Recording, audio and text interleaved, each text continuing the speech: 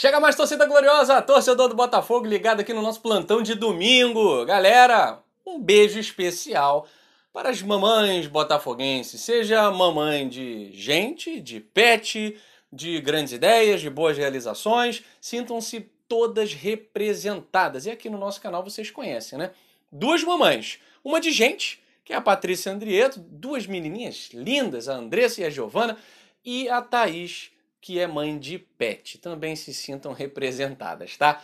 Galera, é o seguinte, vamos falar de Botafogo e Nova Iguaçu, um amistoso, né, valendo vaga para outros dois amistosos contra o Vasco. Porque chamar isso de vaga na final tá de brincadeira com a minha cara, né? Mas antes eu quero, cadê a produção?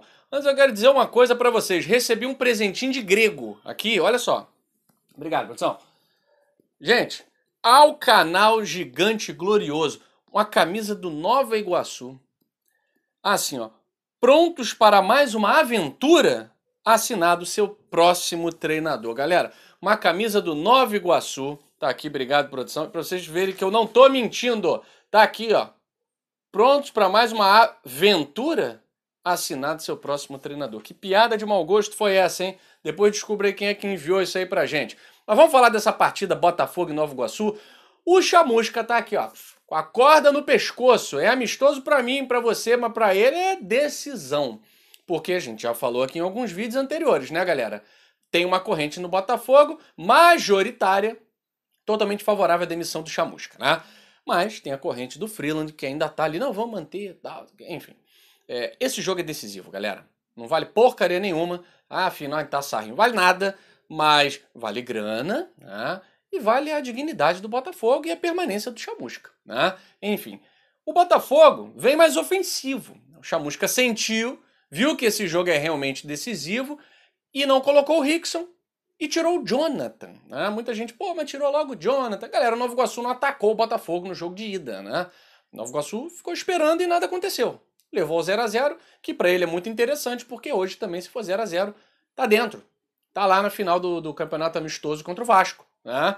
Então, para o Nova Iguaçu é jogo. E vai ser a mesma coisa hoje, tá, galera?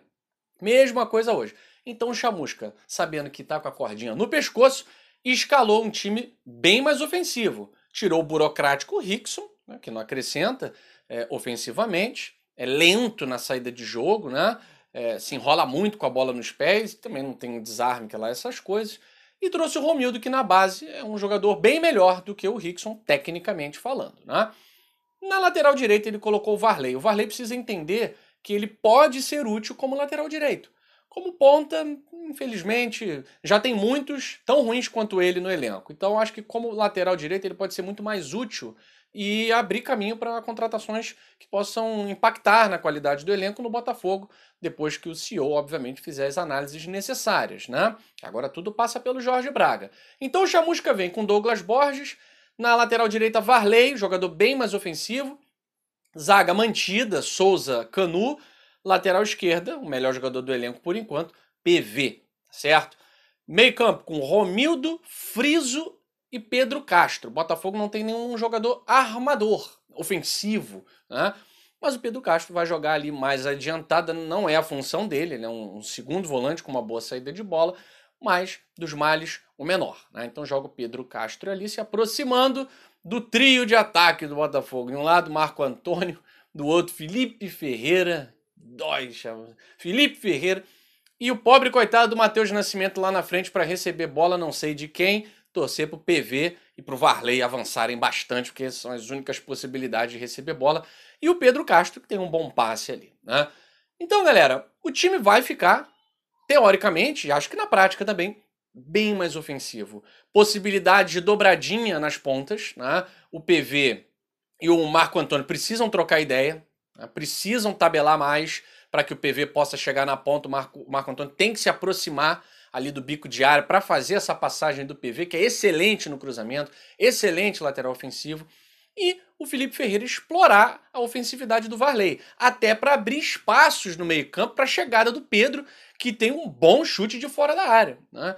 Então a gente espera que o Botafogo faça uma partida menos burocrática, menos medíocre da que fez no jogo de ida, naquele trágico 0 a 0 com a equipe laranja. Né? Sobre o Novo Iguaçu, Mesmo time, basicamente, o treinador do Nova Iguaçu ganha um reforço, né? O Vinícius, que é titular, estava suspenso, volta contra o Botafogo. É uma equipe defensivamente bem postada e vai apostar nos contra-ataques, até porque o 0 a 0 é do Nova Iguaçu. Tá certo, galera?